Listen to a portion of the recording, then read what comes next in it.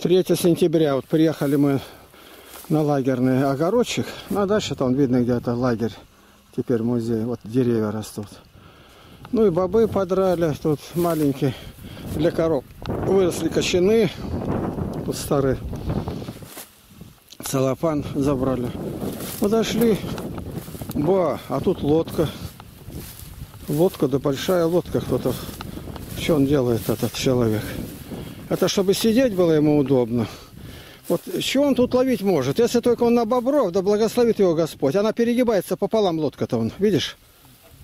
Ну да.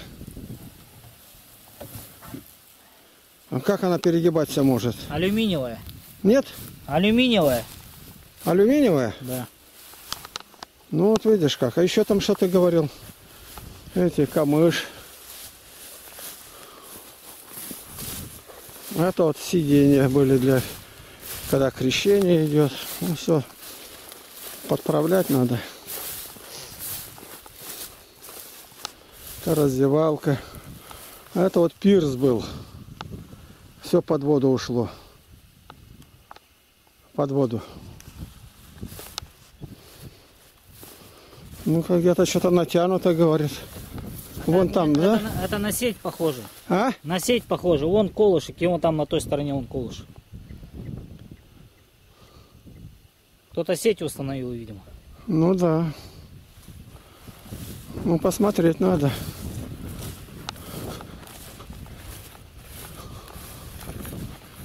Он пришел, поставить. Мы ему ничего не сделаем, этому человеку. Просто познакомиться поближе.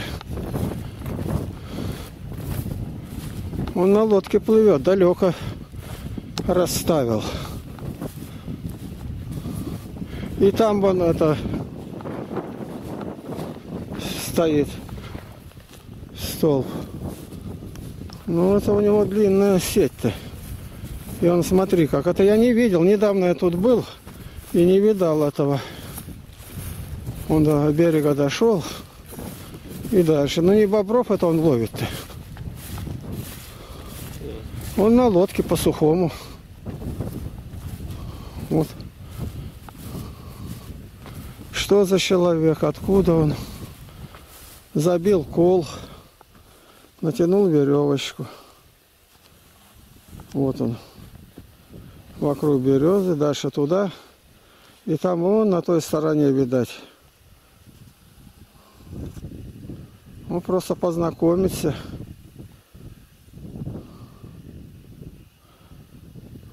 Лодка здесь лежала в другом месте. Ну, ничего, ничего. Конечно, он не через деревню, а вон там останавливается, проходит. И там, где у нас слив воды. Ну, да будет благословен этот человек. Может, бобра решил поймать? А может быть, бобра поймает. Да благослови его, Господи, чтобы бобер нас тут не перепортил плотину. Вот она, плотина наша. Вот видно, сколько мы забили. Тут 400, что ли, свай. Не знаем, кто. Надо видеть его. Ну, приходит, он, видать, ночью. При луне. Да и свет-то зачем? Рыбу и так видать. Интересно, никогда этого не видал. Там храм. Нам никакой неприятности от него нету. Я тут ставил. Тут у меня шест был. Там он в, в этой, в крапиве-то нету, посмотри. Прямо ткнуть, я туда его закинул. -то. Если он тут был, то он видел, он у меня, кажется, исчез тут. Кто его мог взять, непонятно. Я рыбачил сам здесь.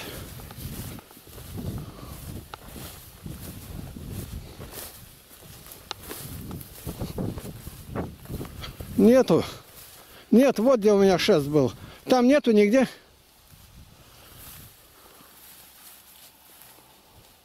Может быть, я его домой отнес. Не- ну, не- Я там не нашел его. Нету. Ага. Вот тут веревочка наша. А вы с мордушкой не забирали его? Мартушка не знаю, может быть забирал. Ну что, пойдем, давай помолимся. Господи, слава Тебе.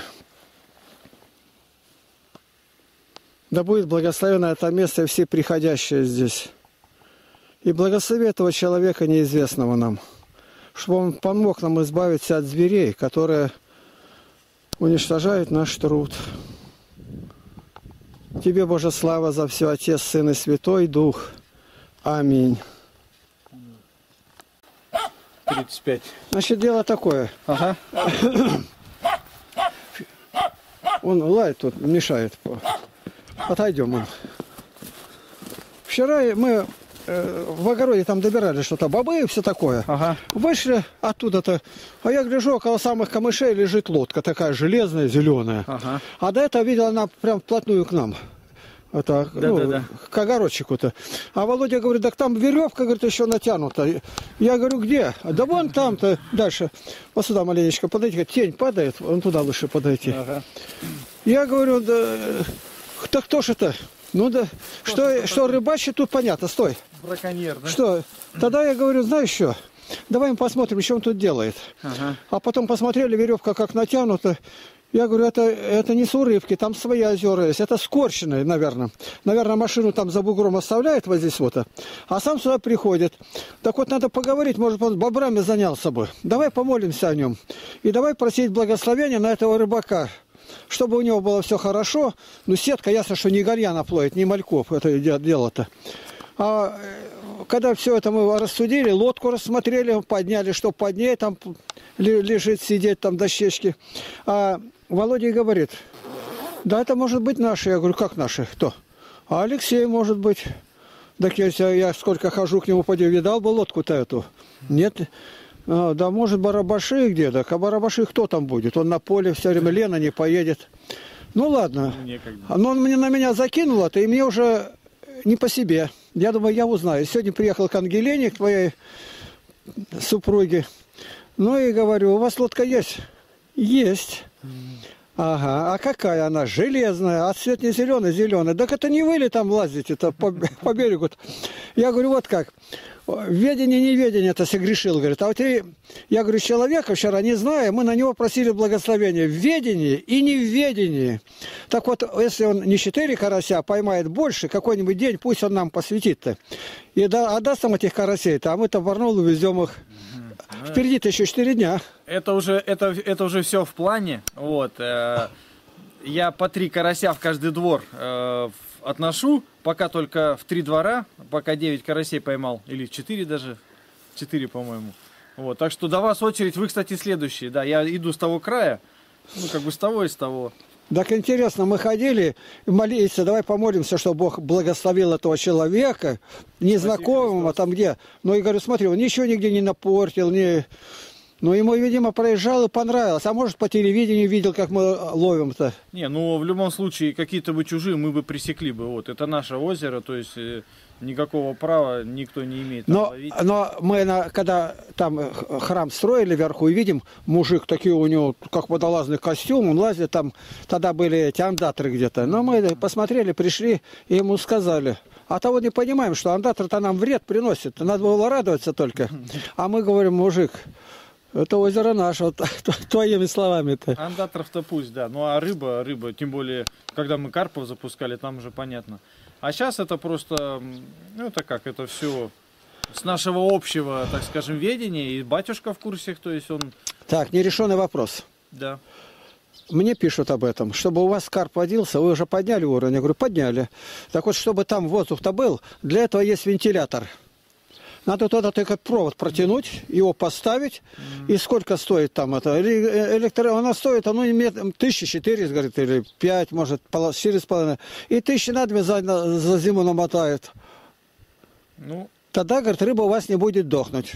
не работал на- над этим вопросом. Я все-таки сторонник того, что надо углубляться. Вот. Потому что все вот эти примочки, которые вот внешние, ну, без глубины все равно.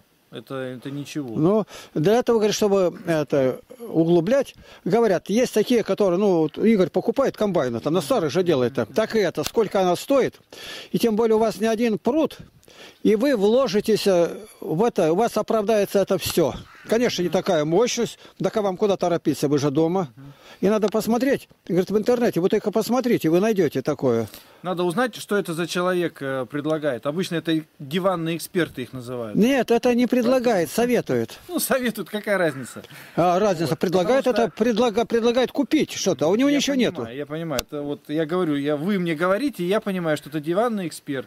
Ну да, Поэтому знаешь, многие говорят, вот там, э, приедь сюда, вот просто поколи Да. дрова, там, покоси траву, потом будешь мне что-то предлагать. а советует, говорит, Понимаешь? вы воду выпустите, Да, она а потом- подсохнет, изнот, а потом бульдозер вы- вытащит все. Ну. Там никогда, во-первых, родники. А выпустить, значит, никогда уже не запустить. Ну, там, Он там, там жизнь кипит всякая. там. да. Это не. А другие советуют так, так вы воду выпустите, а рядом выкопайте новый пруд.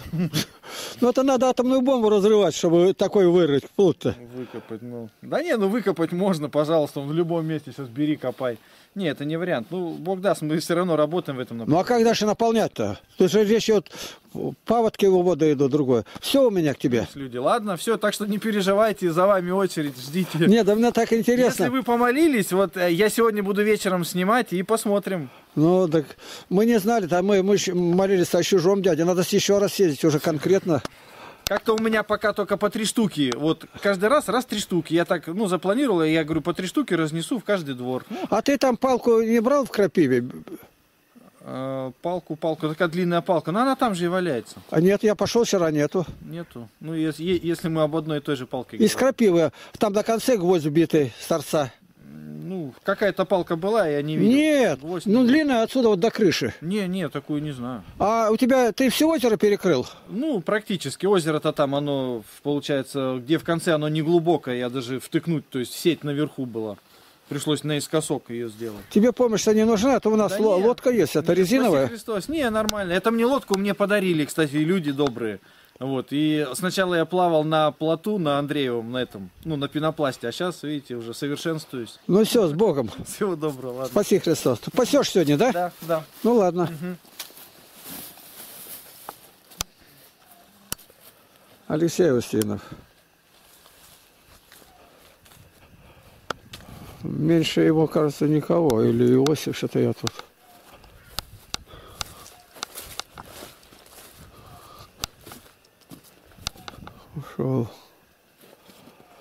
Слава Богу. Такая вот эпопея вчера случилась. Молились, старались, и к нам вернулось все.